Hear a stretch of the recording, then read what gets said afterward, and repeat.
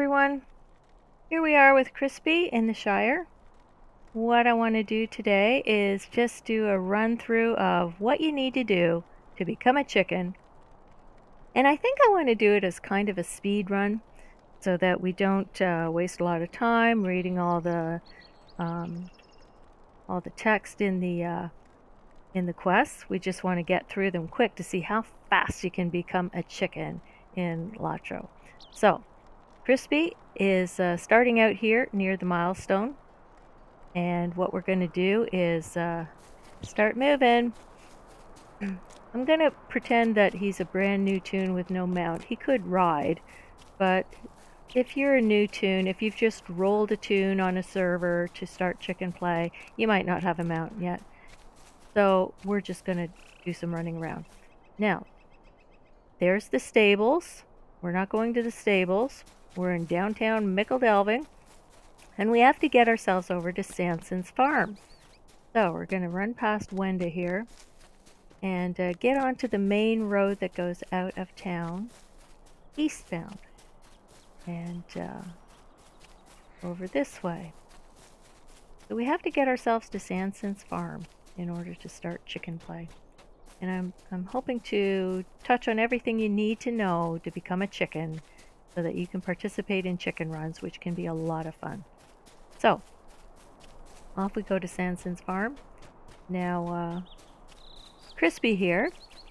Cryspea lives on almost every server so far. The only one he's not on yet, but he will be soon, is, um, well, I won't say in case somebody jumps in and grabs the name. so, I'm just gonna be quiet about that and uh, yeah, so Cryspea is on almost every server, and so he can join in chicken runs on any server. Now, some of the, the servers he's on, he's not run through the intro quest yet, but so he has to do that on all the servers. So this one we're on today is Evernight. Now, Cryspea normally lives on Gladden, and Gladden is where we do our Monday night Cryspea chicken runs. But um, I want Cryspea to be on every server, so if other people organize chicken runs, then Cryspea will be able to participate. So, here we go. We're going to talk Might to Wald. I speak with you a moment? Oh. Which laid first? Okay, so in this quest, you get a little bunch of clues that tell you which order these chickens' nests have to be visited. So, I've done this before, so I kind of have it memorized. So we're going to go to Pimpinella first. And we're going to put an egg in her nest. And then we're going to run over to Bellflower. So sometimes when people are, when I'm helping people run through the intro crest, I'll just run from one nest to the other to show people which ones to go to.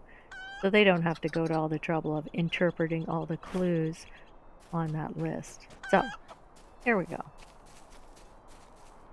Tell time is next. And then our last chicken to visit is over here. Out for that rooster. And here we are at Moonlight's Nest. So, here's the last one. That should do. And then we're back to Wald. And we'll Hello. see how long this is. Might Oh, I have a word pie. with you? Now, poor Belina. We have to see what's wrong with Belina. Apparently uh, she has problems. You can always pause the video and read all the text. And, uh, hang on a second. Did I accept that quest? Am I getting ahead of myself here? Might I speak with you a There moment? we go. Gotta accept that quest. Trying to do too many things at once here. Okay, Belina. All right then. Now we're about to turn into chickens. This is session play. So we'll be in the real world with other toons, other players, but we'll be chickens. So let's do that. Let's turn into a chicken. This one's a little bit weird. The first time you turn into a chicken, you don't end up in the same place that you started when you hit that play button. We don't turn into a chicken and end up standing in front of Belina. We end up a couple fields away where we have to find some find some worms and piles of dirt to help Belina out. So this is our mission. is to collect earthworms for Bellina. So we scratch in the dirt, see if we find some worms. But nothing there. Still get zero. It's kind of hard to read that. Let me just fix my quest tracker. Oh, come on over here. That's better. Alright, now I can read this better. Still have zero earthworms. Boy, oh boy. Let's get on this and find some earthworms for that poor chicken. So Cryspea, if you meet Cryspea in the world and you click on his inspect him, um, if you inspect Cryspea on Gladden, you can see the awesome chicken outfit that he wears most of the time. Um, but on other servers, he's not so well dressed because he hasn't been around long enough to collect all the cool gear.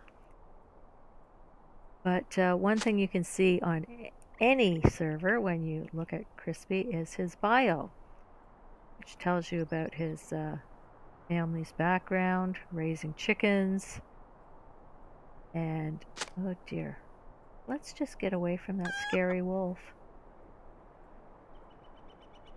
So the Cryspea, Cryspea and his family, the chicken family, they came by their name honestly because raising chickens is what they've done for countless generations. So, and there's a story about how is it that Cryspea came to be involved in this whole chicken play thing. Well, if you check out his bio, you'll see a story of how this all came to be. Some chickens in the chicken clan um, have what they call itchy feet. When you have itchy feet, you just have to go and roam the world. Oh, look, I've got my four earthworms. Now I can head back to Bellina and give them to her. And try not to get eaten on the way. Try not to get gored by a wild tusker or eaten by a snarling wolf. So, watch out for those mobs when you're doing the very first chicken quest. But once you get your worms, head back to Bellina. And then when we're on our, our next quest, I'll tell you some more of Cryspea's story. Alright, here's Belena. Let's give her some worms. There we go. Finish that up. Oh, I'm going to get logged out. So, now that we're back to Sanson's farm, you look here, you were not far away when you were collecting all the worms. So if you're helping another toon get through the intro quests, you have to gallop away from Sanson's farm over to the east to find where the new baby chickens will spawn. And if you go to the map, so here we are at Sanson's farm. Over here is where we were collecting those worms, just so you know. Okay, so back we go. Let's go talk to Wald again. Wald. So Bellina was just hungry for worms? Oh, well, here we go. Gotta finish that Might quest. I speak with you a moment? Still looks upset. Oh, it didn't work. So we have to go examine Bellina again? Well, now what? Let's go see. Then we turn into a chicken again. And then we talk to Molina and see what's up with her. See, this time we turned into a chicken and we're in the same place. We didn't get transported over into the fields to look at for earthworms. So this is easier. Okay, the sky is falling is the next quest in the series. You can pause it and look at all the text if you want to, but I'm just, I've read it before, so I'm just going to move along. We need to go and visit some chicken coops and talk to other chickens. That is the mission today. So let's go do that. And our chicken skills, which we haven't looked at in much detail yet. One good one here is fowl fleetness. We're going to use fowl fleetness to move a little faster and try and head over to where Our quest arrow is pointing us. We like our quest arrows. Oh, look out for mobs though. Yikes.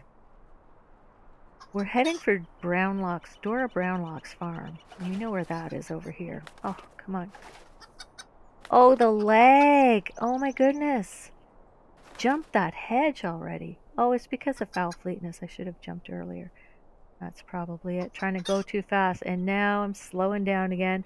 So you got a two minutes from one cycle to the next. Um, is it two minutes? So 30 seconds you get to run really fast as a chicken. And then for a minute and a half you're on cooldown. Ooh, there's somebody else at the farm. Well, it's nice. If they're killing all the wolves, yay, because it makes it easier for me to get to see the other chickens. So I need to get over here. I'm just going to go the scenic route, take the long way around. I'm not going to go dashing right through the middle of the farm where all those nasty, scary wolves are. I want to get over here. And you see where the chicken is? It's not by the chicken coop. No, it's up on the roof. Hiding here up on the roof. So let's go talk to Dora's chicken. There we go. Wolves. Of course I've seen wolves. Look at them. They're everywhere, right? So, off we go. Waymeet.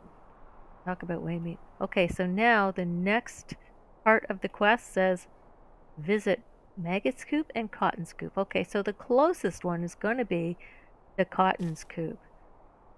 The, the farm, the cotton farm, where Rosie Cotton lives with her family.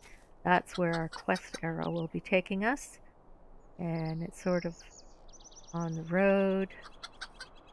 They're heading past Hobbiton, sort of just the other side of Byward. Um, let's see, Bywater. So we've gotta go over towards Hobbiton Bywater, and it's gonna be Hobbiton and Bywater are on the left side of the main road. We're going to be looking for the cotton farm on the right side of the main road. And so, yeah, so Cryspea. Cryspea was walking in the woods one day and he met a stranger. A strange old man. He was dressed all in gray. His, his outfit looked a bit like that that wizard Gandalf that brings the fireworks around to the Shire now and then, right? But this stranger was not Gandalf. And when Cryspea introduced himself to this stranger, the man laughed and laughed at the name Cryspea Chicken. Oh, he just thought that was funny, and Cryspea thought that was quite rude the way he laughed. But then the man said, Oh, you must share some, you know, just just pulling your leg basically, he said, and, and share some lunch and and well, you know, to offer a nice lunch there. He was had a nice pot of coney stew on. So Cryspea accepted his apology of food and uh, and had some some coney stew with mushrooms in it apparently.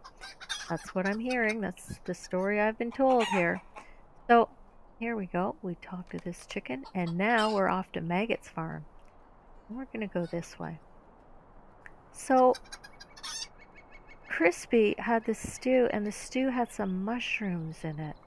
And he thought nothing of it at the time. He loves mushroom as any hobbit would. But after he'd eaten the stew, that's when the weird things began to happen.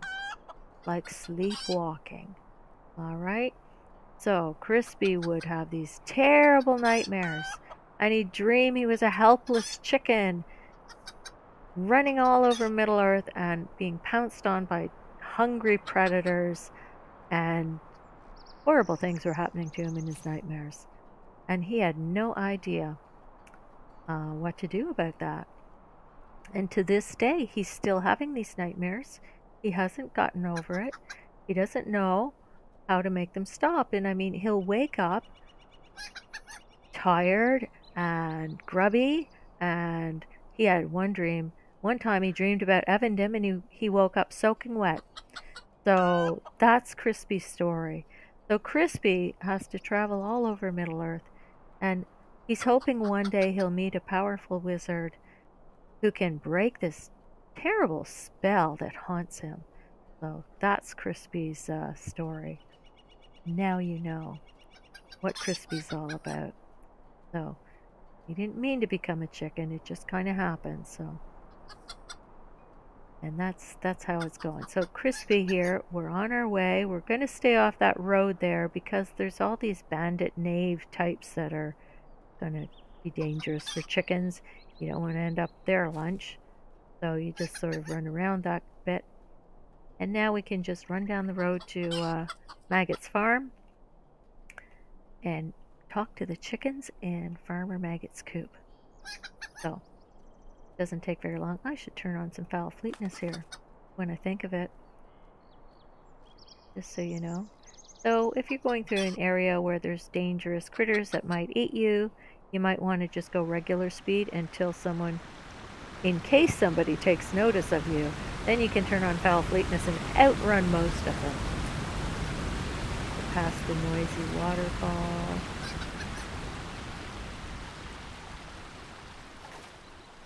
Fortunately, that was a nosy hobbit and not a hungry hobbit. I might have been worried otherwise.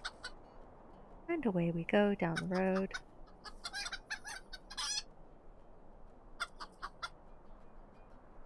And now our fowl fleetness is on cooldowns.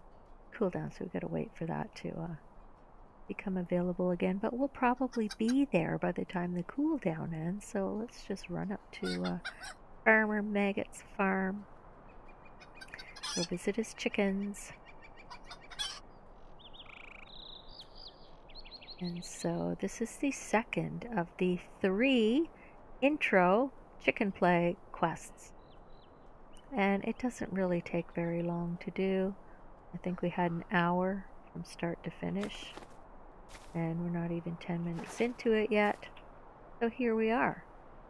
And finish that will be logged off in a few seconds and we will end up right back in the Sanson's farmyard.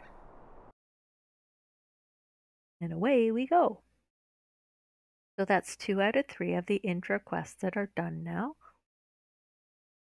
And let's just see about that last one. The last one is similar. It's again, it's running around the Shire, making a few more stops this time, I think. Let's go talk to Wald and he'll tell us all about it here. Hello. Ah, looks much calmer. Did you see an odd rooster? I thought I saw one, but I never got a good look. Could oh. I take a moment of your time? George started to act all queer. Okay, not sure what has gotten into my dad's chickens. All right then, go. Let's go check out George. George hangs out right beside Billina over here. So George, what's up, dude? We'll figure out what's wrong with George and what we need to do to make him happy. And here we go. Chicken play. Okay, so we need to talk to the creatures of the Shire. That's the mission. Let's just get right into it then. Alright, so our quest arrow is our friend. It's hiding there assigned away Waymeet. So, but what we need to do is follow that arrow. Now, if you look at the, the wiki, you will learn which creatures you're going to have to go and visit. I think the first one this arrow will take us to is Old Sally. And if you've quested in the Shire, you know she hangs out by Old Man Willow near Tuckborough. So we've got to get all the way over there. So, now sometimes when you're running around as a solo chicken, you want to zoom all the way out so you can see scary critters that might be uh, in your path. But the mini map is also very much your best friend.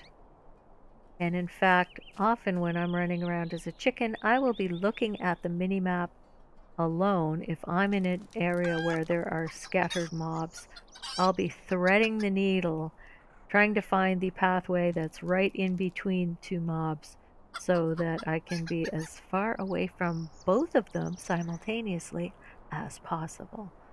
That's the idea. Stay away from the mobs. You are a level 1 chicken. You do not have armor. You do not have weapons. Don't have, you know, sure you've got a beak and some claws, but there is no skill on your skill bar that lets you use that beak or those claws to attack another critter. So, all you can do is run away, basically. You have a skill called bob and weave, um, but it's not really going to save you if you're up against something that's a much higher level than you. Um, your skill, Possum Impersonation, is much more helpful, especially if you are running when you hit it. Because if you're running when you hit it, it doesn't make you play dead and it doesn't go on cooldown, but it will make the critters that are after you um, cease and desist and leave you alone. So it's a very helpful skill. And it's helpful to know that you can avoid the cooldown just by being by running when you hit that button. Okay. The other skill, paranoia, is helpful on one of the flying the coop quests you're going to do later. You don't really need it in the Shire.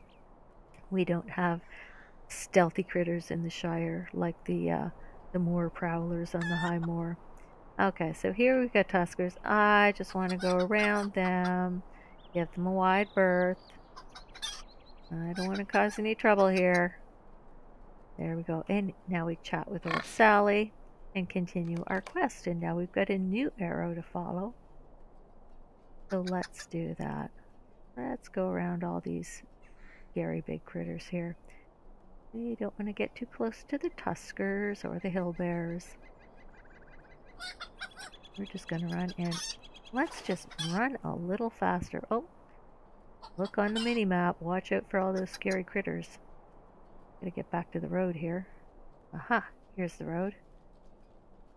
Watch out for those brigands on the road. So I'm just gonna dash right off the road before we get to that little pond that the road loops around. Kind of a shortcut this way anyway. And we just run along beside the road so we don't need to worry about brigands. And our next critter we're going to talk to is not far from here. We're getting closer. Aha, uh -huh, I see Questring over a fox. So, go talk to Mr. Fox. And read that at your leisure. Let's carry on. We're on a speed run here. The first time you do these quests, you should take your time and read all the text. But uh, if you're just rolling a toon on another server. Oh dear, there's a brigand there. Yikes. Alright, where is he going? Get off the bridge. I want to cross the bridge. Gotta wait for that nasty guy. Leave now. Off you go. And off I go. Yay. You see, somebody like that nasty brigand knave, not your friend. Do not want to get into a, an altercation with somebody like that. Alright then. Off we go. So, when you're playing as a chicken, if you type something into chat, the only people who will read that are other chickens. If you type into chat, you cannot contact anyone in world chat. They will not see you. If you hit say whatever, you might get bubble over your head but nobody can hear what chickens say. Not in English anyway. They might see bok bok type stuff in the uh, over your in your chat bubble over your head, but that's about it. So, chatting with other chickens. Um, the way Cryspea Chicken likes to keep in touch with his fellow chickens and his escorts is Discord. And what we use is the Lore Seekers public voice Discord channel. You don't need to join the kin to use this. Um, anyone can use our public voice Discord. Um, but it's also possible to join the Lore Seekers if you want to, if you're a new player and you want a kin that can help you out, uh, you know, give you some help to get get uh, find your way around in the game at first, then that's fine. So we welcome new players, returning players. And we're a very casual kin, so if you're into like end end game raiding type stuff, that's that's not really uh we might not be the best kin for you, but hey. Oh. Back to this. Hey wolf, stop. Talk to me. Talk to me. Okay. He talked to me. Let's go talk to the other dogs. Got Grip here and Fang. Have a little chat with you. Read it at your leisure. And off we go to Fang. And now Again, it's about the same length of time to get from one end of the Shire to the other. And back we go. We have done the three intro chicken quests. And now we are ready to move on to the next level of chicken questing, which is the Flying the Coop quest series. So it's a series of about a half a dozen quests that take you further afield from the Shire. Here we go. Oh, there's someone here. Now I gotta talk to Wald. What do you need? Finish up now. Completed flying the coop. Yay! Alright, so now that we've done that... George, you've got a quest ring. Look at this. I can do all these flying the coop quests. So now those are a possibility. And uh, when you do all those, that's when you win the Cloak of the Cluck for completing this whole series of quests. So that's the plan. Okay then, so our mission has been accomplished here. We'll just accept one of those. And uh, yeah, so that's how you become a chicken. That's how you become a chicken in the Shire at Sanson's farm. You do these quests. Now there's another guy over there, Farmer Sanson.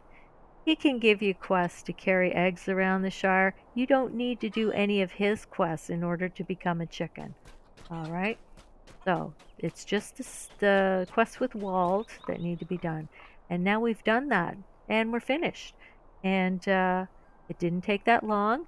Now we're ready for any of the Flying the Coop quests. So this is the intro quest that you need to do before you join join in um, one of the Monday night Flying the Coop chicken runs. Now you know. All right.